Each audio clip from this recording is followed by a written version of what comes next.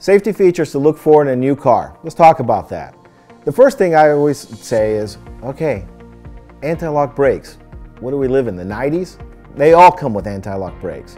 The reality is, let's look for newer features. The new feature that's kind of an option right now is the auto braking.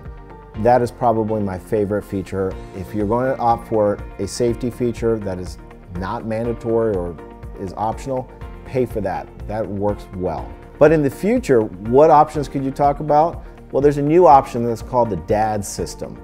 The DADSS system detects how much blood alcohol level you have in your body and will not start the car if it detects a high amount of blood alcohol level. And believe it or not, it's actually very accurate. It runs an electrical current up your body through it and there are sensors in your chair and inside the auto ignition that will detect your blood alcohol level and your vehicle will not start if you're over a 0.08. This is actually very exciting and believe it or not, it's coming out. It's going to probably be mandatory in the next five years. If I were to buy a car for my teenager that had that option, I'd pay for it because I don't want him to drink and drive.